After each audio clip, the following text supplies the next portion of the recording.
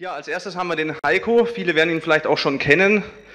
Heiko hat ja mal die Bombe im Gehirn Videoreihe übersetzt, ähm, hat das damals mit uns bei Freiwillig frei gemacht, arbeitet in einer Gewaltberatungsstelle, ist das richtig? Ja. Genau, und hat auch ein paar Videos gemacht, ich und mein Staat, von denen ich ein Riesenfan bin. Insofern freue ich mich ganz besonders auf den Heiko und seinen Vortrag. Und ich würde sagen, Heiko, los geht's. Machen wir noch dein Mikrofon an? Hast du schon angemacht? Ja, habe ich schon angemacht. Ja, Jetzt muss ich mal genießen, dass hier so viele Leute sind, die an ANCAP Happening teilnehmen wollen und dass ich jetzt zu denen sprechen darf. Man ist ja doch als Anarchokapitalist relativ einsam. Und da ist das wirklich eine ganz besondere Gelegenheit und ich, ich freue mich einfach tierisch, dass ich äh, euch meine äh, Gedanken erzählen kann. Ich habe mir auch richtig Mühe gegeben, das sind neue Gedanken, das gibt es noch nicht.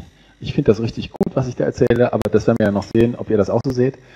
Ähm, ja, also ich habe mir den modernen Staat angeguckt und die traumatisierte, Persönlichkeit und habe festgestellt, es gibt eine sehr gute Passung zwischen diesen beiden Dingen, was natürlich für unsere Zwecke sehr tragisch ist oder sehr schwierig ist. Aber äh, von daher komme ich mit, mit einer gewissen ähm, erschwerenden oder äh, deprimierenden oder vielleicht demotivierenden Message, dass es nämlich alles viel schwerer ist, als man denkt. Ähm, aber ich glaube, man muss die Situation realistisch analysieren, sonst äh, holt man sich nur eine blutige Nase und hat keinen Erfolg. Gut, fangen wir an. Vor 170 Jahren, da war ungefähr 1848, bisschen gerundet, gab es in Deutschland eine Revolution. Und das war nicht nur in Deutschland so, sondern auch überall sonst. Ähm, die Ideen von persönlicher Freiheit, von Eigentum, von Rechtssicherheit waren in aller Munde und der Liberalismus war politisch eine sehr starke Kraft. Ähm, da gab es Revolutionen, das heißt, die Leute waren mit dem Staat total unzufrieden, haben gesagt, weg damit, die blöden Herrscher, die stören uns. Und das ist ja eigentlich das, was, ähm, was wir ja auch verstehen, dass das eben Herrscher sind und dass wir die eigentlich nicht haben wollen. Ähm, das hat schon vorher angefangen. In den USA war, hat sich das zuerst gezeigt, 1774, in Europa dann 1789, das ist ja wahrscheinlich alles bekannt. Ähm, einfach nochmal, um sich zu vergegenwärtigen, wie das damals war. Also eine sehr andere Zeit als heute. Ich habe mal ein paar Zahlen rausgegriffen, die vielleicht nicht ganz fair sind, weil der Staat damals natürlich ein ganz anderer ist als der Staat heute. Aber trotzdem kann man daran sehen, dass der Staat sehr fest im Sattel sitzt. Ähm, bei Reichsgründung in Deutschland 1872 war die Steuerquote bei 6 Prozent und ist dann auf 23 Prozent zuletzt gestiegen, also eine Vervierfachung. Die Staatsquote, das heißt der Anteil von, Staats-, von Wirtschaftstätigkeiten, der auf den Staat zurückgeht, war bei der Reichsgründung 14 Prozent und ist jetzt bei 45 Prozent. Gibt unterschiedliche Rechnungen, aber im Groben verdreifacht. Und die Zustimmung zur Demokratie, also ist die Demokratie die beste Staatsform, sagen im Westen 86 Prozent, ja, ist so. Das heißt, die Herrschenden hatten Erfolg bei der Aufgabe, ihre Herrschaft als legitim erscheinen zu lassen und fest im Sattel zu sitzen. Nun hat Stefan Blankatz, der ja auch anwesend ist, in diesem wunderbaren Buch Das Libertäre Manifest geschrieben. Die zentrale Frage libertärer Theorie lautet, warum der Staat trotz der bekannten Nachteile, und die sind ja hier in diesem Publikum wohl bekannt, eine solch universelle Verbreitung und kaum zu brechende Stärke hat. Das finde ich genau richtig. Das ist die zentrale Frage libertärer Theorie. Und ich habe mir dazu Gedanken gemacht, aber ich bin ja nicht der Erste. Hans-Hermann Hoppe hat sich dazu auch schon was überlegt. Ähm, und er hat in einem Buch, äh, in einem Aufsatz, ähm, The Sociology, The Economics and Sociology of ähm, Private Property, glaube ich, ähm, hat er sich Gedanken darüber gemacht, wie das denn dazu gekommen ist, dass der Staat heute so mächtig ist und so unhinterfragt, also so eine Stärke hat.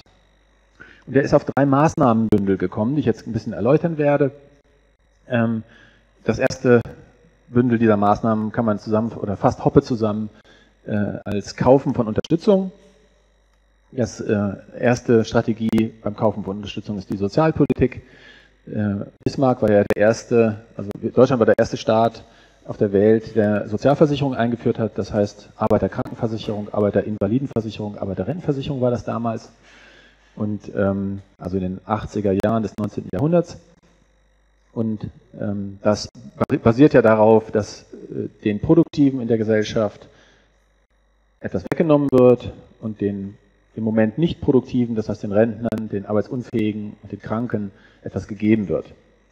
Äh, also sogenannt eine Umverteilung von oben nach unten. Und äh, Bismarck hat dazu gesagt, im Nachhinein, mein Gedanke war, die arbeitenden Klassen zu gewinnen, oder soll ich sagen, zu bestechen, den Staat als soziale Einrichtung anzusehen, die ihretwegen besteht und die für ihr Wohl sorgen möchte. Also er hat genau verstanden, was er da eigentlich vorhat. Der war auch klar, ich bin hier Machtpolitiker, ich versuche die, äh, die Vorherrschaft des Adels und des, des höheren Standes zu sichern. Und deswegen muss ich verhindern, dass die Sozialisten eine Revolution machen. Und das hat er ja auch ganz gut erfolgreich hinbekommen. Ähm, und seine Strategie war eben eine Rentversicherung oder Sozialversicherung einzuführen. Das hat, finde ich, sehr gut funktioniert. Ähm, der zweite Maßnahmenbündel ähm, was ich nicht so wirksam finde, aber das auch eine Rolle spielt, ist, ähm, dass man Kartellbildung unterstützt als Staat, als Herrschaft, äh, herrschende Klasse. Ähm, und das funktioniert jetzt, ich nehme mal das Beispiel der Ärzte, obwohl man vielleicht bei Kartellen eher an Schwerindustrie denkt oder sowas, das ist auch richtig, aber ich nehme mal Beispiel der Ärzte. Äh, man bekommt vom Staat eine Lizenz und mit dieser Lizenz, die der Staat natürlich in der Hand hält und jederzeit auch wieder wegnehmen kann, äh, hat man die Möglichkeit, Geld zu verdienen. Und zwar in einem Markt, der durch relativ hohe Eintrittsschranken ähm, gekennzeichnet ist, sodass billige Konkurrenz von außen, Newcomer, nicht so leicht reinkommen, sodass die Kartellinhaber, also die Kartellmitglieder, die die Lizenz besitzen, ähm, höhere Preise verlangen können. Ich bin als psychologischer Psychotherapeut auch Mitglied in einem solchen Kartell und zahle immer jedes Jahr meine Beiträge an die Psychotherapeutenkammer. Ähm, ja.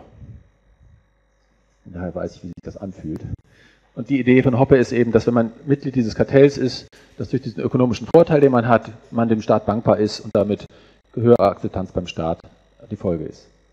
Die dritte äh, Strategie ist, ähm, was in Blankerts Buch, finde ich, so treffend genannt wird als Okkupation. Es werden nämlich gesellschaftlich erwünschte Funktionen, wie zum Beispiel die Bildung der Jugend, vom Staat okkupiert. Und alle Leute, die dann vorher in privaten Schulen gearbeitet haben, arbeiten jetzt in staatlichen Schulen. Das heißt, der Arbeitgeber wechselt von einem privaten Arbeitgeber zu einem staatlichen Arbeitgeber und damit hat der Staat, also die Idee ist, wenn ich das, meinen Lebensunterhalt vom Staat bekomme, akzeptiere ich ihn eher. Also eigentlich ein ökonomisches Argument. So, das wäre alles Kaufen von Unterstützung im Sinne von Hoppe, Maßnahmenbündel 1. Jetzt kommen wir zu Maßnahmenbündel 2. Die Verfassungen der Staaten wurden von monarchischen Verfassungen verändert in demokratische Verfassungen. Das hat den Vorteil, dass nicht nur Mitglieder der Herrschaftsfamilie, der Königsfamilie und die, der, der höfische Adel die Chance hat, den Herrschaftsapparat ähm, zu beeinflussen, sondern dass jetzt auch einflussreiche Bürger und ähm, wirtschaftlich erfolgreiche Bürger oder medial erfolgreiche Bürger ähm, die Chance haben, den Herrschaftsapparat zu beeinflussen. Und wenn man die Chance hat, die Herrschaft zu beeinflussen, dann ist man schon gar nicht mehr so ganz dabei, eine Revolution zu machen, sondern dann hofft man vielleicht, dass man da auch hinkommt. Das erhöht die Akzeptanz. Aber auch bei denjenigen, die ähm, nicht die Hoffnung haben, Teil des Herrschaftsapparats zu werden, also bei den Wählern, bei mir zum Beispiel, kann, so die Idee von Hoppe, eine demokratische Verfassung eher die Akzeptanz des, des, Staates fördern, weil ich ja die Idee habe mit meinem Kreuzchen oder mit meinem etatistischen Gebet, was ich ab und zu mal machen kann, äh, habe ich irgendwie die Hoffnung, dass ich den Staatsapparat so gestalten kann, wie das, wie das für mich richtig ist. Ich habe also, ne, ich möchte gerne, dass irgendwie das so gemacht wird dort oder dass es so gemacht wird und ich habe irgendwie die, die, Idee, ich kann da mitreden, ich kann das mitbestimmen. Das ist eine Illusion, aber trotzdem hat das den Effekt, dass das mehr mein Staat wird, wenn es ein demokratischer Staat ist. So das Argument von Hoppe. Der dritte Faktor, der die Akzeptanz des Staates erhöht hat, war die Förderung des Nationalismus. Also die Idee, dass mein Staat oder der Staat, der hier ist, irgendwie besser ist als der Staat, der da drüben ist. Und diese Idee wurde halt massiv durch Propaganda gefördert, staatliche Schulen. Ähm, und es wirkt sich dann natürlich da auch darin hingehend aus, dass dann heimische Produzenten eher geschützt werden als ausländische Produzenten. Das passt natürlich den ausländischen Produzenten und den ausländischen Staaten nicht. Dadurch entstehen Spannungen Und das führt dann eben immer wieder auch zum Krieg. Und das hat man in den letzten 150 Jahren ja auch gesehen. Ähm, also zwei, viele, viele Kriege auf dem europäischen Festland und eben auch der, die zwei Weltkriege.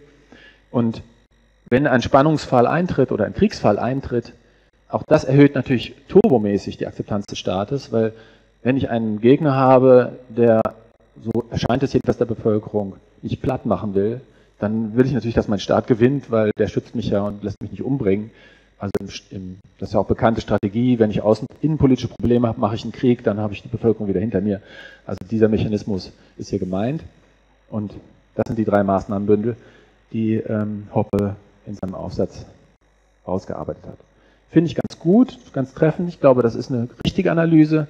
Ähm, vielleicht fehlt noch hier und da was, aber ich habe natürlich was dran auszusetzen und möchte das gerne ergänzen.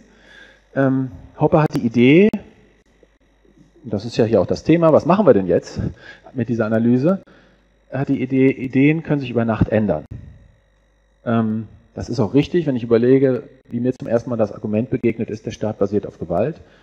Das war ein Schock für mich, aber ich habe es sofort verstanden. Hat eine Weile gedauert, bis ich das dann in meinem System eingebaut gekriegt habe, aber das ist eigentlich einfach zu verstehen.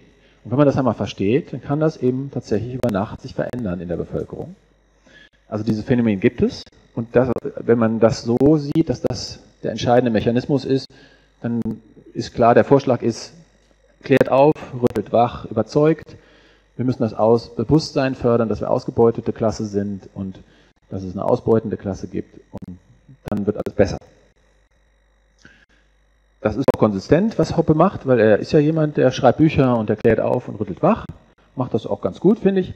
Äh, und ich glaube aber, dass es da eben Annahmen gibt, die ich nicht ganz teilen kann. Er sagt nämlich, der Etatismus ist ein intellektuelles Problem. Das ist er auch, aber nicht nur. Und er sagt auch, dieses Problem lässt sich auf der Ebene von bewusster Diskussion, von Information lösen.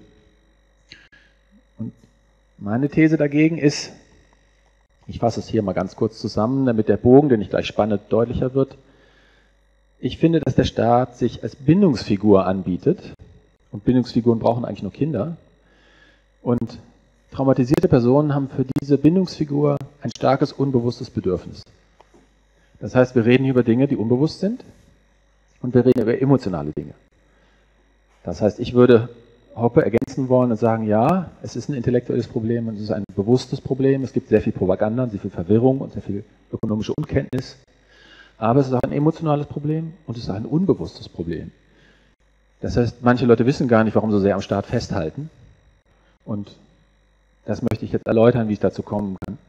Und meine These etwas belegen. Und dazu muss ich erstmal natürlich jetzt über Traumatisierung sprechen. Und ich muss über Bindung sprechen. Also da müsst, bitte ich jetzt so ein bisschen Geduld, dass ich hier als Psychologe mich mal ein bisschen breit mache. Ähm, und das ist natürlich auch ein schwieriges Thema, weil ich werde äh, Dinge behaupten über das Unbewusste, die vielleicht auch euch betreffen und die auch mich betreffen vielleicht. Und äh, ich, ich will nicht behaupten, ich weiß besser, was in euren Köpfen los ist. Aber äh, trotzdem muss ich das irgendwie tun. also ist ein bisschen schwierig. Ne? Ich bin mir dessen bewusst, sagen wir es mal so.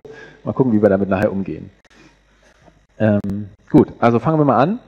Erstmal was über Bindung. Wieso ist Bindung so wichtig? Was ist das überhaupt mit dieser Bindung? Ich glaube, bei Bindung hat man oft das Gefühl, äh, so ein Bild im Kopf.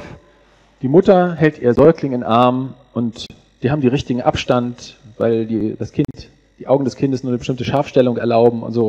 Und das ist irgendwie biologisch eingebaut. Und das ist so ein harmonisches, wunderschönes Bild. Ähm, Bindung dient aber dem Überleben. Das heißt, wenn wir über Bindung reden, geht es um den Tod. Um den Tod des Säuglings, der verhindert werden soll. Das muss man sich immer klar machen, dass das Bindungsverhaltenssystem etwas mit dem Überleben zu tun hat. Es geht also nicht um so sehr schöne Sachen, sondern es geht darum, dass Babys gefressen werden, dass Babys zu kalt werden und sterben und sowas. Und das Bindungssystem verhindert das. Und da ist da schon wieder Harmonie drin, aber es ist ein Mechanismus, der das Überleben sichern soll. Und es ist so, Bindungssystem haben Reptilien nicht. Vögel und Säugetiere haben das. Ähm, und das liegt daran, dass äh, Reptilien und Säugetiere, nein, Vögel und Säugetiere Hirne haben, die nicht so sehr stark von genetisch festgelegten Verhaltensprogrammen gesteuert sind, sondern die sind relativ offen. Das heißt, sie sind lernfähig. Der Vorteil davon ist, dass man in Umwelten hineingeboren werden kann, die genetisch sozusagen nicht vorhergesehen werden, sondern die können neu sein. Und dafür braucht man natürlich dann, um in dieser neuen Umwelt zurechtzukommen, einen ausgewachsenen Artgenossen, der einem schützt und der einem das beibringt, wie das geht, der mit dieser Welt erstmal klarkommt. So, deswegen Bindungsangewiesenheit, weil wir so ein offenes Hirn haben. Und der Mensch hat das auf die Spitze getrieben. Wir haben ein derartig offenes Gehirn, wir haben ein derartig kreatives Gehirn, dass wir Umwelten vorstellen können, die es noch gar nie gegeben hat. Und wir können diese Umwelten auch noch schaffen.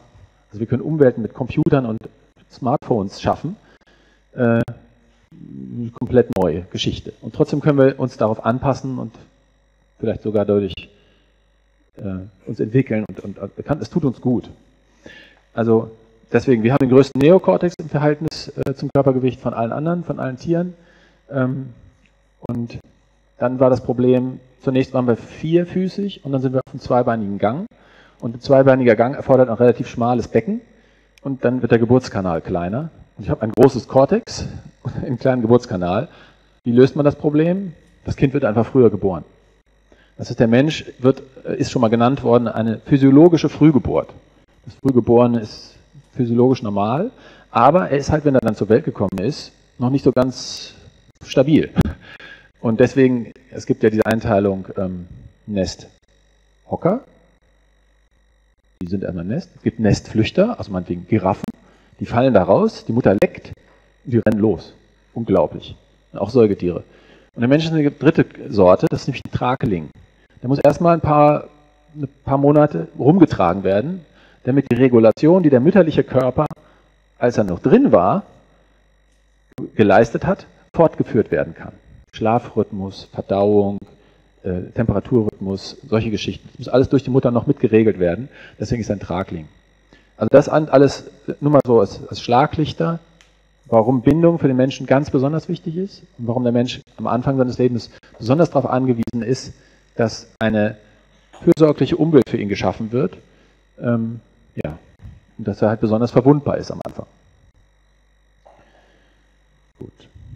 Jetzt möchte ich das mit der Bindung mal ganz kurz erklären, mit einem kleinen Schaubild. Da muss ich etwas umpointen. Ja, habe ich schon gemacht, glaube ich. Ist on. Ist on, ne?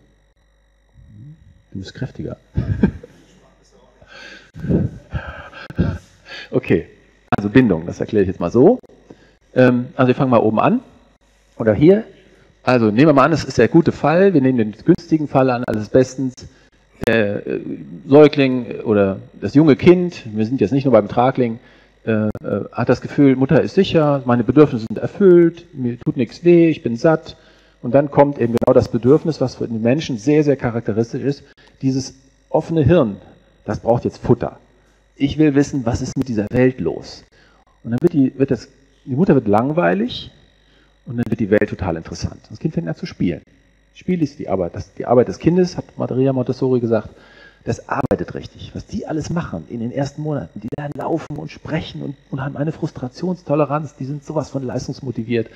Also das ist Explorationsbedürfnis. Ich will mehr werden, ich will stärker werden, ich will meine Gliedmaßen kontrollieren, ich will die Welt, meine Kraft mit der Weltkraft messen und wachsen. So. Und das ist eigentlich ein super normaler Zustand und das ist gut, wenn das Kind das ganz viel macht. Nun ist aber in dieser Welt eben auch Gefahr. Habe ich ja erklärt, da gibt es irgendwelche Säbelzahntiger, aber die gab es, glaube ich, gar nicht, als es Menschen gab, ich weiß das nicht. Gut. Ähm, und dann springt eben in Gefahr, nehmen wir mal eine Schlange und das Kind hat irgendwie, ist gefährlich. Dann passieren zwei Dinge. Es nimmt diese Gefahr wahr, und da ist auch wirklich eine Gefahr, oder der Schein einer Gefahr, ist auch egal. Und das Kind wird total aufgeregt. Das Bindungssystem springt an, Herzrate geht hoch, Adrenalin und Stress. Das ist Stress. Und das ist gut so, das Kind das schreit, entweder rennt es zur Mutter, wenn es das kann, oder ruft die Mutter und die Mutter holt es. Und dann hat die Mutter zwei Aufgaben. Sie muss sich erstens um das Problem da draußen in der Welt kümmern. Was ist mit dieser Schlange? Verscheuchen oder erklären, war nur eine Liane. Wir sind im Dschungel, ganz klar. Und zweitens die Aufregung. Es muss diese Bindungs, diesen Stress, der das Bindungsverhalten antreibt, den Bindungsschrei, muss es wieder runterregulieren. Oh, alles gut. Schlange, Schlange weg. Ne? Und erstmal muss sie den, den, den, die Aufregung des Kindes aufnehmen. Oh Mann, du bist aufgeregt, oh, ist doch was schlimm. Und, und, und, und dann geht es wieder so runter. Und das ist ein ganz wunderbarer Tanz zwischen Mutter und Kind oder Vater und Kind. Und ähm, dadurch wird das, die Erregung runterreguliert. Also es sind zwei Aufgaben. Die Welt muss bewältigt werden, aber die Erregung des Kindes muss auch bewältigt werden. Und nach und nach lernt das Kind das selber zu tun, aber das dauert eine ganze Weile. So, und dann ist das Bindungsverhaltenssystem irgendwann abgeschaltet und dann wird die Mutter wieder langweilig. Und dann sind wir wieder, und dann geht das wieder los. Der entscheidende Punkt ist, wir haben normalerweise im Idealfall niemals das aktiviert und das aktiviert, sondern entweder das aktiviert oder das aktiviert. Wenn ich also im Bindungsstress bin, habe ich kein Interesse, über die Welt was zu lernen. Da will ich nur, mein Arsch soll wieder gerettet sein. Ja? So, jetzt will ich nichts lernen. Und wenn ich, mein Bindungssystem abgeschaltet ist, dann, ja, dann will ich halt mein, meine Welt wieder kennenlernen. Also das ist so eine Wippe, nennt man das, dass, verschieden, dass die Verhaltenssysteme an sind oder eben aus sind und nicht beide zugleich. Wenn, also wenn das so funktioniert, gibt auch Fälle, wo das nicht so ist, da kommen wir jetzt gleich zu, dann eine, eine Mutter, die das gut macht, die nimmt die Signale ihres Kindes wahr, es schreit, das heißt, die ist erstmal auch zugegen, sonst kann sie die Signale nicht wahrnehmen. Die interpretiert die Signale richtig und reagiert dann prompt und angemessen darauf. Das war jetzt die Definition von Feinfühligkeit. Und feinfühlige Mütter kriegen Kinder mit sicherer Bindung. Das heißt, die Kinder haben irgendwie kapiert, mit der kann man arbeiten. Ich kann ruhig in die Welt rausgehen, wenn es schwierig wird, die rettet mich. Alles klar. Das ist sichere Bindung und da gibt es irgendwie keinen Zweifel, dass das hier ein Problem ist. Äh, in solchen Fällen wird das Bindungssystem relativ schnell wieder beruhigt nach einem, nach einem Stressereignis und es wird komplett abgeschaltet. Das heißt, das Kind kann sich die meiste Zeit hier aufhalten und kann sich auch der Exploration komplett widmen, ohne zurückzuhalten. Und solche Kinder haben eben kognitive Vorteile, emotionale Vorteile, soziale Vorteile und motorische Vorteile. Also diese Bindungsgeschichte ist einfach ein total wichtiger Faktor reicht. Muss weitermachen. So, jetzt gucken wir uns, ähm, auch schade, anderes Programm. Ähm, jetzt gucken wir uns mal den Fall an, traurig, traurig, wo das alles richtig schief geht. Also Traumatisierung. Ähm, da bin ich jetzt noch gar nicht, erzähle jetzt erstmal die Szene. Also nehmen wir mal an, das Kind ist jetzt vier Jahre alt und spielt in der Küche und nimmt sich solche metallenen ähm, Kochtöpfe aus dem Schrank und hat so einen Pfannenwender und klappert da rum, macht richtig Lärm. Und dieses metallische Geräusch, das kann schon so ein bisschen nerven. Ja? So. Dann macht es noch einen Kühlschrank aus und nimmt Eier und macht die da kaputt, rohe Eier. Und dann gibt es da eine Sauerei. Jetzt kommt die Mutter dazu, die ist schon ein bisschen genervt, weil dieses Geräusch und so. Und jetzt hat sie meinetwegen auch einen Trauma-Hintergrund und das trifft irgendwie, es triggert irgendwie ihr Trauma. Wir müssen jetzt nicht so viel über die Mutter nachdenken, aber so wir nehmen jetzt mal, mir will das nur plausibel machen, dass das, dass das wirklich eben passiert. So, jetzt die ist getriggert und findet das Kind unverschämt. Und was es für eine Sauerei macht. Und das geht überhaupt nicht. Und das ist ganz schrecklich. Die dramatisiert das total und erlebt das Kind als, als ein Monster, was die Küche ruiniert. Und in dem Moment rastet sie aus, fühlt sich innerlich legitimiert, Gewalt anzuwenden, schlägt das Kind. Das Kind schreit. Das findet sie vielleicht unbotmäßig und unverschämt und sie tritt das Kind, dass das Kind durch die Küche fliegt, nimmt sich den Besen und haut mit voller Wucht auf das Kind ein. So, sehr dramatische Szene. Ist jetzt eine Möglichkeit, wie man traumatisiert werden kann. Gibt natürlich andere, alleinlassen, emotionaler Missbrauch. Ich gehe jetzt mal einfach dieses bildzeitungsmäßige, plastische, nehme ich jetzt mal als Beispiel. Gibt auch unterschiedlichste Konstellationen. Hier gibt es jetzt keinen Vater in meiner Geschichte, aber einfach mal, dass das Argument klar wird, bitte mal einfach folgen. Jetzt hat das Kind ein Problem. Das Bindungssystem ist durch die Schläge natürlich massiv aktiviert. Hoher Stress. Das Bindungsbedürfnis, ich muss jetzt unbedingt meine Mutter haben, die sich in meinem Beispiel jetzt meinetwegen ganz gut verhalten hat sonst. Das heißt, es gibt irgendwie eine Bindungserwartung, das, das klappt irgendwie mit der Mutter. Ich muss zu meiner Mutter unbedingt. Und dann, oh Schreck, die Mutter ist das Problem. Die Mutter ist mein Angreifer. Ich muss weg von meiner Mutter. So, und das, was soll es da jetzt tun? Jetzt gibt es im Stammhirn da vier, vier Fs im Englischen. Fight, Flight, Freeze, Faint. Also kämpfen, keine Chance. Dreimal so schwer, dreimal so groß, vergiss es. Weglaufen ist schon da, schon zu spät. Ich hätte vorher weglaufen, das geht nicht. Äh, erstarren, ja, vielleicht einen kurzen Moment, hilft aber nicht, die haut weiter. Was bleibt übrig? Die schwächste aller Reaktionen, ich bin tot. Ich tue so, als wäre ich tot, ich werde ohnmächtig. Aber immerhin, vielleicht sagt das Raubtier, ist es Aas, will ich nicht, oder ist abgelenkt und dann kann man in dem Moment wieder wegrennen oder so. Also eine Todstell, faint, ich werde ohnmächtig. Ja. Das ist auch ein Notabschaltmechanismus. Wenn man zu lange unter maximalem Stress ist, das zersetzt die Gehirnzellen. Also das gibt es eine Notabschaltung, weil das einfach zu heftig ist. So, jetzt wacht das Kind wieder auf und jetzt hat es ja ein Problem, noch eins. Ich brauche diese Mutter, ich bin jetzt mal der rationale Sprecher für dieses Kind, ich brauche diese Mutter, um in dieser Welt klarzukommen. Ich bin vier Jahre alt, ich kann nicht alleine klarkommen. Das geht nicht. Das ist schon mal gesetzt. Also, Mutter ist sicherer Hafen, das muss ich irgendwie hinkriegen. Wenn ich jetzt aber weiß, dass meine Mutter ein lebensgefährlicher Gewaltvulkan ist, der, wenn ich bestimmte Punkte drücke, wieder explodiert, dann ist meine Mutter kein sicherer Hafen mehr. Der ist kaputt. Das heißt, ich kann mir nicht erlauben zu wissen, dass meine Mutter gefährlicher Gewaltvulkan ist, damit ich sie als gute Figur behalte. Aber ich kann mir auch nicht erlauben, es nicht zu wissen, weil ich sonst diesen Gewaltvulkan nicht managen kann. Ich muss ja gucken, dass ich nicht auf den Triggerpunkt treffe. Ich kann nicht mich wieder mit diesen Töpfen spielen und Eier da reinschmeißen. Das kann ich mir nicht erlauben. Das heißt, ich muss wissen und nicht wissen zugleich. Und dafür gibt es eine geniale Lösung. Also es ist unglaublich, wie überlebensfähig diese Kinder sind. Also wir alle. Strukturelle Dissoziation wird das genannt bei der Psychologie. Ich erkläre das jetzt. Und zwar spaltet sich die Persönlichkeit in verschiedene Anteile auf. Die eine weiß, die andere weiß nicht. Und in der Mitte gibt es auch noch jemanden.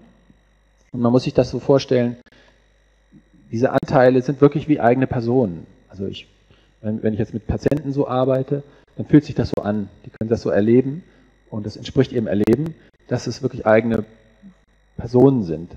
Ohne dass man jetzt sagt, das sind multiple Persönlichkeiten oder so. Man, also, ja, ich weiß nicht, wie ich das besser erklären soll. Aber es sind jedenfalls nicht nur Emotionen, die unterschiedlich sind, sondern es sind auch Persönlichkeiten mit unterschiedlicher Weltsicht.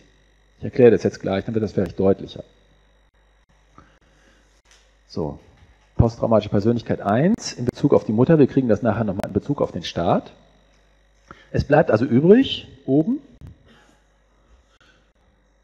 der ANP heißt er jetzt demnächst immer, dass der anscheinend normale Persönlichkeitsanteil, das P, Persönlichkeitsanteil muss eigentlich weg, ANP, der ist bewusst, das ist der normale Junge, vier Jahre alt, die meisten seiner Funktionen und Bedürfnisse sind in dem untergekommen, das ist der meiste Teil der Persönlichkeit, die meisten Erinnerungen sind verfügbar, eben zum Beispiel die Erinnerung, meine Mutter ist gut, die schützt mich, ich bin ein braver Junge, meine Mutter ist eine gute Mutter, alles in Ordnung.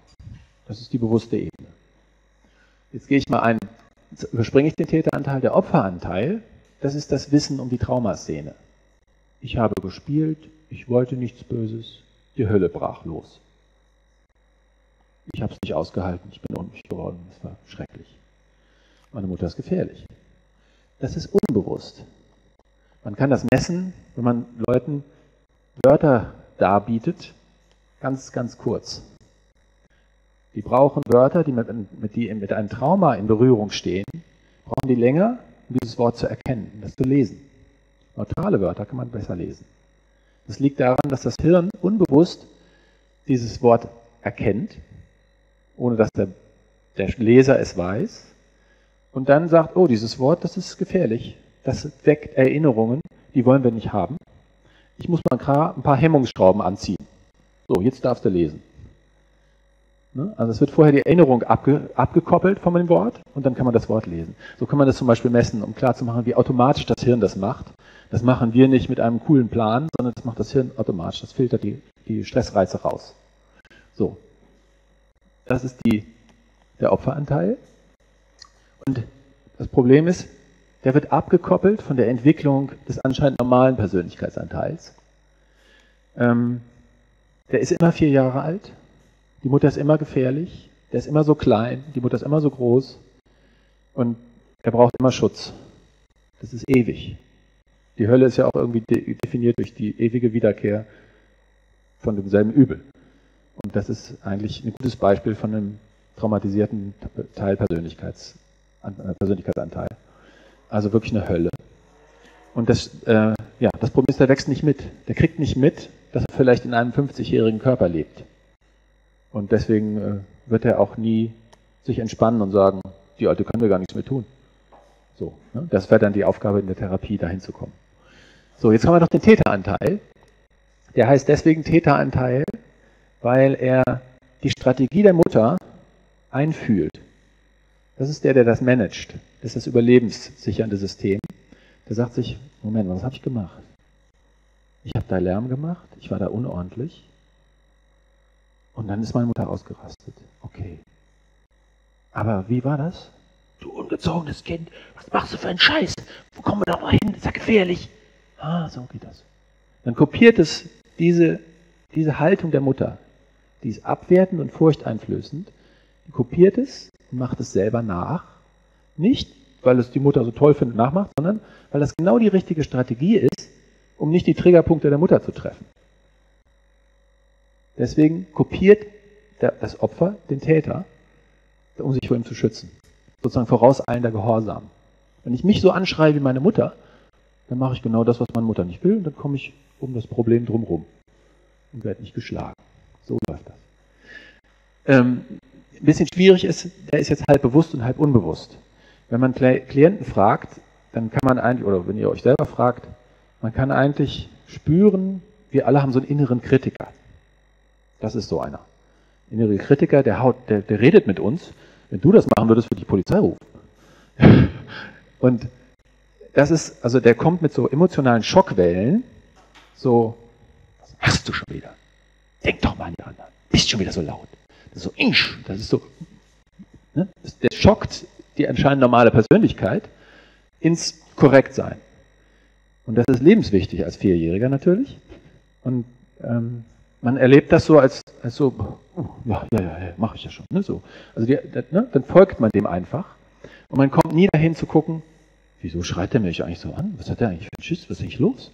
Also, dass man mal hinterfragt, warum ist dieser Täteranteil so vehement? Nee, man macht einfach, man macht das einfach. So. Und deswegen ist ja sozusagen die Motivation von dem Täteranteil unbewusst. Der weiß ja, was los war. Der hat Kontakt zum Opferanteil, aber ist unbewusst. Nur das Ergebnis eingespeist in die anscheinend normale Persönlichkeit. Gut. Der Erfolg ist, man kann in der Illusion weiterleben, dass die Mutter sicher ist und man kann trotzdem den lebensgefährlichen Gewaltvulkan managen.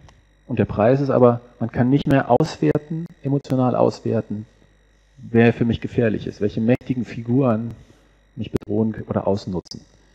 Das kann ich ja gerade nicht tun, weil dann würde ich ja wahrnehmen können, dass die gefährlich sind. Das habe ich mir ja gerade ins Unbewusste abgeschoben. Ja, jetzt könnt ihr vielleicht schon ahnen, wo ich hinaus will. Aber jetzt gucken wir uns nochmal an, diese einzelnen Persönlichkeitsanteile, welche Bedürfnisse haben die eigentlich? Welche Neigungen haben die? Einfach nochmal ein bisschen, um reinzufühlen, wie sind die denn so drauf? Also der anscheinend normale Persönlichkeitsteil ist es ja irgendwie so ein braver Junge, der hat das Bedürfnis, sich daran zu orientieren, die Mächtigen, was wollen die von mir, was erwarten die mir, wo darf ich auf jeden Fall nichts kaputt machen, wir sind ein bisschen vorsichtig. Unter dem Einfluss des Täteranteils, auf den wir gleich kommen, die sind auch anhänglich. Daniel Würz, einer meiner lieben Künstler, hat mal gesagt, gesungen, gebrannte Kinder fliegen hoch, doch niemals weit. Ähm, die sind anhänglich, weil wenn die in die Welt hinausgehen und die Welt erkunden, Moment mal, was war mit meiner Mutter? Ich, ich glaube, ich muss nochmal gucken. Ja, die, sind, die können nicht wirklich komplett ihr Bindungssystem abschalten und in die Welt hinausgehen, explorieren, sondern sie müssen immer sich vergewissern, was ist mit der Mutter? Ist alles noch okay? So, und die sind dann so klebrig. Und die Mutter dann, geh doch mal spielen. So. Ne? Jetzt nicht alle Kinder, die anhänglich sind, haben das erlebt, aber das ist ein Effekt. Kommen wir nachher noch zu, warum das wichtig ist.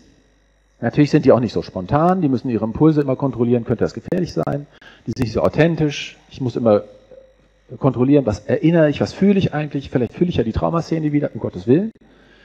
Also ich bremse mich und deswegen habe ich auch Angst im Kontakt. Ich gehe nicht voll in den Kontakt, sondern ich halte mich zurück. Ich hoffe, das ist nachvollziehbar. Einfach mal als Schlaglicht. Der Täteranteil ist naturgemäß herrschaftslustig, nicht weil er so herrschaftsgeil ist, sondern weil er aus Not getrieben die gefährlichen Gedanken an die Traumaszene, die vielleicht auftauchen, unterbinden muss, wegschocken, hör auf, das zu denken. Und er ist, äh, muss natürlich auch die Impulse, das zu tun, was die Mutter so aufgeregt hat, unterbrechen durch dieses Wegschocken. Er ist immer paranoid, weil er natürlich ständig scannt, könnte wieder was passieren, wie ist es schon wieder so weit, sie sieht schon wieder so gespannt aus. So. Ähm, und die Strategie ist eben durch Abwertung das Gefährliche zu unterbinden und durch Angst einjagen. Und wir kennen ja vielleicht alle eine Institution, die mit dieser Strategie arbeitet. Der Staat. Also das ist äh, dieselbe Strategie. Komme ich gleich noch zu. Und der Opferanteil möchte natürlich, habe ich ja schon erklärt, der ist vier Jahre alt, der entwickelt sich nicht. Ich möchte, Schutz und Sicherheit soll endlich einfach Frieden sein.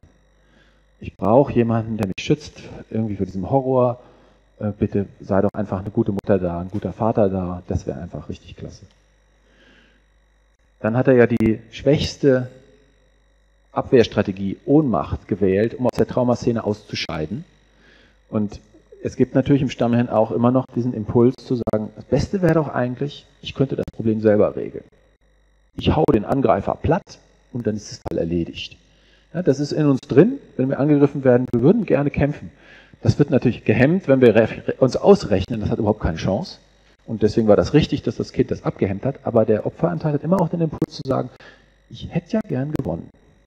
So, das müssen wir uns merken es ist auch eine sehr erniedrigende Erfahrung, so platt gemacht werden, so, so. Und die, diese Erniedrigung möchte gerne auch eine, Heilung finden, dadurch, dass man, ich bin wieder wer, ich bin wirksam, ich gelte was. Das möchte da sein. Und natürlich der soziale Aspekt, das ist ja eine sehr innige Beziehung zwischen Mutter und Kind. Und wenn das so unterbrochen wird, ist das auch eine soziale Ausstoßung. Du gehörst nicht dazu, du bist laut, du bist unverschämt, du bist dreckig. Und ich, du bist kein Wert, ich nehme dich nicht ernst. Und wir vertragen uns auch nicht, sondern du bist mein Feind. So erlebt die Mutter ja, wenn sie schlägt, das Kind. Deswegen hat er das Bedürfnis nach dazugehören, ernst genommen werden, nach Vertragen. Gut. Jetzt gucken wir uns nochmal Hoppe an. Der hat ja so ökonomisch-soziologische Faktoren aufgezeigt. Wir erinnern uns, Unterstützung kaufen war ein Maßnahmenbündel, wie der Staat seine Akzeptanz erkauft oder erreicht. Und guck mal, welche Bedürfnisse werden denn hier angesprochen? Und wenn der Staat in einer existenziellen Notlage, ich bin jetzt krank, kann meinen Lebensunterhalt nicht verdienen. Wir stellen uns vor, 1870, viele Fabrikarbeiter, geringes Lohnniveau, zu viele Menschen und ich kann meinen Lebensunterhalt nicht verdienen. In Indien ist das heute auch. Ein Rikscha-Fahrer, wenn der krank wird, das ist eine Katastrophe. Jetzt kommt der Staat und sagt, kein Problem, ich habe hier Geld für dich. Ist zwar zwangsfinanziert, aber ist egal. Er rettet dich. Er gibt dir was. Krankenversicherung. Ich habe ja die Geschichte der Krankenversicherung mir mal angeschaut in den Freiheitskeimen. Ähm, die Leute haben, die meisten, die in der Zwangsversicherung, der Krankenversicherung, die, die, die haben zum ersten Mal einen Arzt gesehen. Da sind Bevölkerungsschichten erreicht worden, die haben noch nie einen Arzt gesehen. War zwar Zwang, aber muss man erstmal würdigen, dass das erstmal richtig geil war. Da war ein Arzt, der kennt sich damit aus, der konnte Leben retten. Ja, cool. Irgendwie gut. So. Also, was ich damit sagen will, ist, das spricht den Opferanteil an, der natürlich vier Jahre ist, unbewusst, und der möchte einfach Schutz haben. Und das macht der Staat.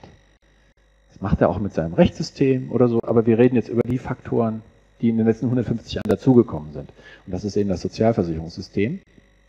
Und er fühlt sich mit vier Jahren immer darauf angewiesen, dass jemand Starkes ihm hilft. Und das tut der Staat an dieser Stelle.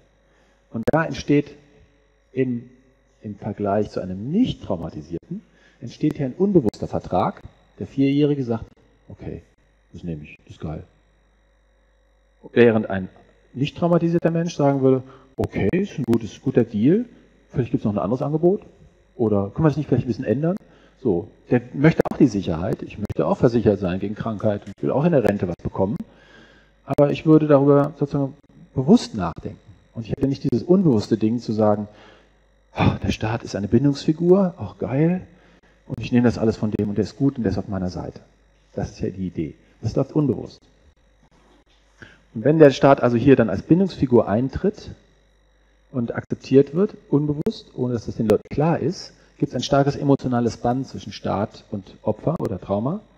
Und dann ist auch der, der anscheinend normale Persönlichkeitsanteil zufrieden, weil er jetzt jemand Starkes hat, der sagt, wo es lang geht, das sind die Gesetze, und er gibt Vorgaben, und dann bin ich ein anständiger, braver Bürger, was wird von mir erwartet? Ich gehe wählen, ich zahle meine Steuern, oh, ich habe was vergessen, oh, das tut mir aber leid. Ja, also man ist, man ist ein gesetzestreuer Bürger und es ist die Pflicht, zur Wahl zu gehen, es gehört sich einfach. So, und das, das fühlt er sich gut, der anscheinend normale Persönlichkeitsanteil, weil er möchte ja die Bösen, die Mächtigen nicht ärgern. So. Wenn man jetzt den Faktor Demokratisierung anguckt, das war ja die Idee, der Staat wird zu meinem Staat, weil ich kann daran teilhaben, ich kann mit, mitregieren. Wenn man sich mal die Innenpolitik anschaut, die Innenpolitik, also eine, eine Parlamentsdebatte, das ist ein Kindergarten.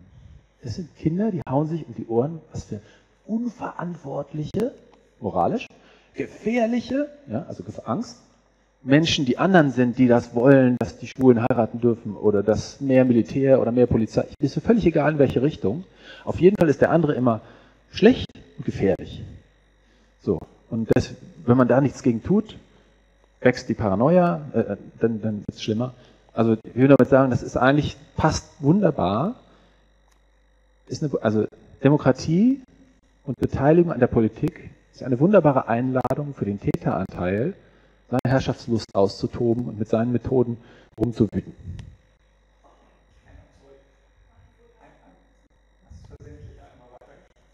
Okay, Entschuldigung, ja, danke. Ja, also das ist sozusagen ne, dieses Kämpferische, kommt gleich nochmal.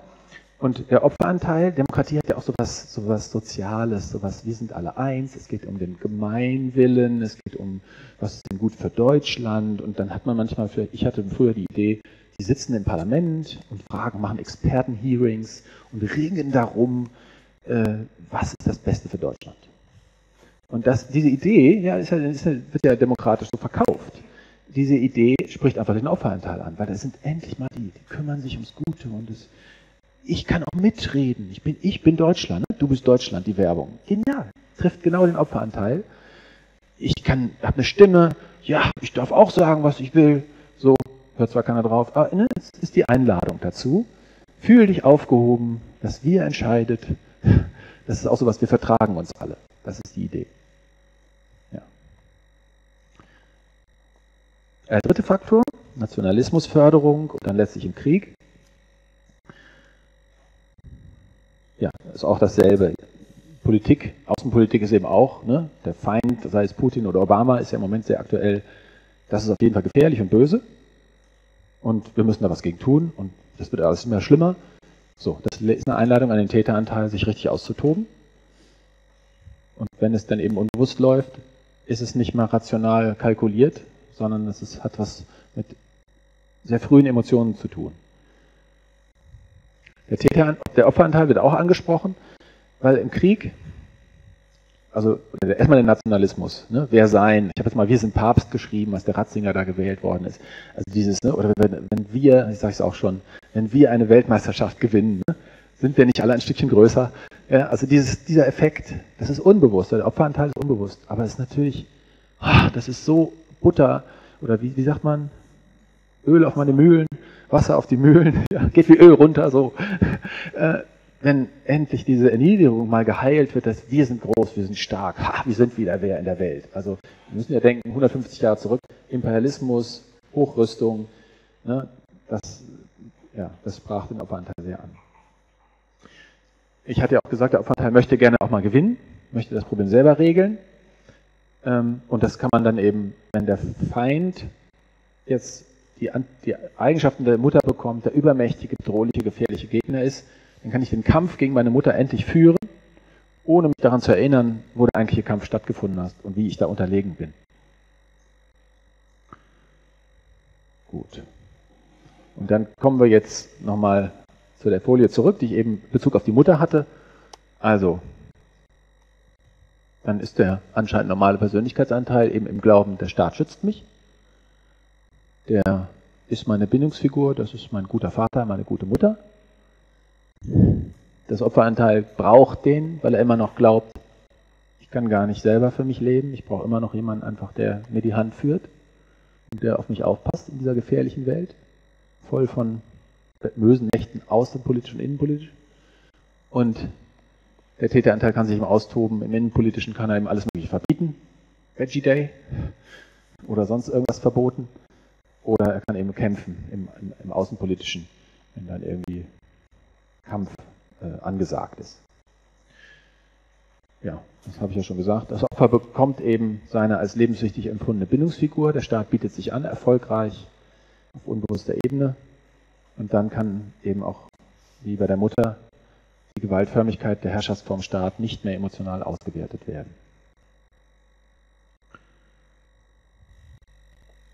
Wenn das so ist, ich glaube, dass das so ist, aber das können wir ja diskutieren, dann ist, wenn ich jetzt ein Argument bringe, jemandem, der so strukturiert ist, und sage, weißt du, der Staat, den du so liebst, der ist gefährlich. Und der ist auch böse. Der will gar nicht dein Gutes. Das ist im Grunde die Aufforderung, du traumatisierter Mensch, erinnere dich daran, wie es war, dass deine Mutter dich traumatisiert hat. Das ist ein Mensch, der vielleicht 40 Jahre lang versucht hat, genau diese Erinnerung zu vermeiden, der hochgeübt darin ist. Das ist hoch beängstigend, diese Erinnerung wieder hochkommen zu lassen. Also wenn man in der Therapie, äh, wenn ich in der Therapie mit solchen Menschen arbeite, die empfinden das als Lebensbedrohung, was es ja auch damals war. Damals war es eine Lebensbedrohung sich daran wieder zu erinnern, ist wie, es fühlt sich an, wie als würde ich erneut in den Tod gehen. Und wenn ich das einem Staatsgläubigen so präsentiere, dann sage ich im Grunde, deine Mutter war böse und gefährlich. Und das funktioniert nicht. Also da wird man natürlich, Druck erzeugt Gegendruck, man wird einfach abwehren. Das ist eine normale, geübte Reaktion. Und Stefan Mollinger hat ja diese, hast du schon erwähnt, Manuel, diese ähm, Serie gemacht, The Bomb in the Brain. Und besonders im Teil 4, ähm, also ich habe das auf Deutsch übersetzt, bitte anschauen, lohnt sich. ähm, ja, The Bomb in the Brain Teil 4 wird, wird auch erklärt, dass es, dass das Belohnungssystem im Hirn massiv angeht, wenn jemand, der mit emotional bedrohlichen Informationen konfrontiert wird, in der Lage ist, und das schafft er auch, also wenn er das schafft, diese Emotionen wegzuschieben, äh, diese Informationen wegzuschieben. Und so, oh, wusste ich doch schon, oder? Ne? Dann gibt es ein Belohnungssystem und das geht nicht, wird nicht nachgedacht. Das ist eine emotionale Abwehrreaktion, kommt aus dem Bindungssystem und hat nichts mit der Großhirnrinde zu tun. Und deswegen, wenn man das weiß, ist man natürlich sehr viel vorsichtiger bei der Verwendung von Argumenten. Natürlich ist das wichtig, auch Argumente zu bringen aber doch nur bei Menschen, die sich dem zuwenden, die das wissen wollen. Das, ne? man muss immer wissen, dass, dass das möglicherweise an ein Trauma rührt, wenn man mit Leuten damit konfrontiert. Und wir haben ja alle schon, glaube ich, sehr heftige Diskussionen mit anderen Menschen gehabt. Und ich glaube, dass da eben Trauma eine ganz wesentliche Rolle gespielt hat. Und die versuchen sich da zu schützen, ohne das zu wissen. So. So, jetzt haben wir ja über Lösungen noch. Das ist ja eigentlich die Idee hier. Das habe ich einfach mal ein bisschen provokativ eine Reihenfolge aufgestellt. Das muss man natürlich nicht so machen. Aber wenn man sich das bewusst macht, dass solche Dinge früher abgelaufen sein können und dass ich da vielleicht selber mit zu tun habe, dann ist natürlich, was ist denn dann wichtiger? Dass ich jetzt den Staat irgendwie einen Zehntel Nanometer zurückdränge oder dass ich mich um meinen eigenen Scheiß mal kümmere? Und ich würde natürlich sagen, ich bin Psychotherapeut, kümmert euch auch um einen eigenen Scheiß. Das ist doch so viel wichtiger. Also, ne, Traumatisierung integrieren, die eigenen Spaltungen auflösen, sich der Wahrheit der eigenen Geschichte stellen. Das ist schwer, es ist scheiß viel Arbeit, aber es ist so lohnend. Ich kann es euch nur empfehlen. Und es ist was, was man wirklich beeinflussen kann. Da kann man was tun. Am Staat kann man meistens nicht so viel tun. Wenn man das tut, dann können wir jetzt ein bisschen pädagogischer wieder werden, dann hat man auch natürlich viel größere Chance, die eigenen Traumatisierungen nicht an die eigenen Kinder weiterzugeben. Das geht so schnell. bin selber Eltern, ich bin in einer Gewaltberatungsstelle. Es ist wirklich sehr erstaunlich, wie mächtig diese unbewussten Traumata agieren und wie schnell sich die alten Situationen wieder inszenieren, bloß mit verteilten Rollen, dass ich jetzt der Täter werde, wie das bei der Mutter war und mein Kind zum Opfer wird. Und ich genau dieselben Probleme habe, die ich früher mit meinem Vater hatte, mit meinem Sohn. Also es ist sehr erstaunlich, wie zäh das ist und wie früh das eingeprägt ist. Und wenn es stimmt, was ich sage, dann ist es auf jeden Fall eine sehr gute Idee, Anarchismus zu propagieren in einer Bevölkerung, bei denen das Traumalevel relativ gering ist. Ich glaube auch deswegen, dass man in sehr gewalttätigen Kulturen, nee, gehen wir mal nach Mittelamerika, wo sich sehr viel geschlagen wird, oder Afrika, hat es überhaupt keinen Sinn, Anarchokapitalismus zu predigen, weil die Leute sind sowas von dermaßen traumatisiert, dass das gar nicht funktionieren kann. Und äh, vielleicht ein Zeichen der Hoffnung, dass hier das möglich ist und dass so viele kommen. Aber ich glaube, es muss eine gewisse Offenheit geben, wenn man sich diese Gedanken äh, zuführen kann. Jedenfalls, wenn mein Argument irgendwas taugt. Ja, wenn man das alles getan hat, seine eigene Traumatisierung bearbeitet, ich tue ja so, als könnte man das nur nacheinander machen, keine neuen Traumatisierungen weitergegeben hat, heile Kinder in die Welt entlässt, ich wünschte, ich könnte das tun, dann ist, finde ich, auch noch empfehlenswert, wenn man dann glücklich und gut lebt. Man sucht sich eine Arbeit, die einen begeistert, die einem Spaß macht. Man guckt seine Beziehungen an, sind die in Ordnung, sind die gut, tun die mir gut? Oder bin ich in irgendwelchen missbräuchlichen Beziehungen und raff es gar nicht. Das kann man ja dann auch besser, wenn man die eigene, äh, wenn man die Fähigkeit wieder erstarkt hat, ausbeuterische Beziehungen zu erkennen. Und dann kann man da vielleicht dabei Bitcoin erfinden oder das Internet verbessern und das sind alles sehr mächtige Werkzeuge, der dem Staat etwas entzieht. Aber das ist nicht, nicht direkt gegen den Staat gewesen, sondern da war eben jemand, der hat sich dafür begeistert, der konnte das, der hat da Spaß dran gehabt und hat das dann gemacht. Und wenn man dann immer noch Zeit hat, dann kann man ja vielleicht auch mal einen Aufsatz gegen den Staat schreiben und sich Hoppe zugesellen und sagen, aufklären, wachrütteln ist eine gute Idee. Das finde ich auch alles legitim, finde ich auch richtig. Aber ihr kriegt vielleicht mit, ich sehe das mit so einem Schmunzeln. Das ist, ich bin immer dafür, dass man die Dinge beeinflusst, die man wirklich beeinflussen kann. Und das ist halt das eigene Leben am ersten. Und jetzt habe ich noch einen, ja, ich habe es ja schon mal durchblicken lassen, ich sage es jetzt nochmal deutlicher. Ich kriege halt mit, viele von den Freiheitsfans geben dem Thema Freiheit und gegen den Staat sehr viel Raum und sind sehr emotional engagiert da drin. Und das finde ich sehr ehrenwert und freut mich auch. Aber vielleicht ist ja dieser starke Raum, den das einnimmt und die heftige Emotion, die damit verbunden ist, gehört die ja vielleicht an einen anderen Ort. Vielleicht gehört die ja in die Kindheit. Vielleicht gab es ja mal Herrschaft, Ausbeutung, Bösartigkeit und Gemeinheit in der Vergangenheit. Ihr habt ja schon verstanden, dass ich glaube, dass das doch ziemlich häufig der Fall ist. Also das würde ich äh, eben euch mitgeben wollen, dass der eigentliche Gegner vielleicht in der Vergangenheit war und dass der Gegner als Staat, also man könnte vielleicht zuspitzen sagen, uns geht es hier verdammt gut. Wir werden hier gut bewirtet und wir sind hierher gekommen, haben hier frei. Also der Staat hat uns jetzt nicht daran gehindert. Aber das Trauma vielleicht hat ganz viele Leute daran gehindert, hierher zu kommen um das zu denken. Und ja, innerer Frieden entsteht eben erst, wenn man alle Teile der Persönlichkeit, drei davon habe ich ja aufgezählt, und es gibt natürlich ganz andere Konstellationen und noch und ganz viele andere, auch mit mehr Teilen, ähm, wenn man alle Teile der Lebensgeschichte annimmt, dann erst kann man inneren Frieden bekommen. Und das wünsche ich euch. Fertig.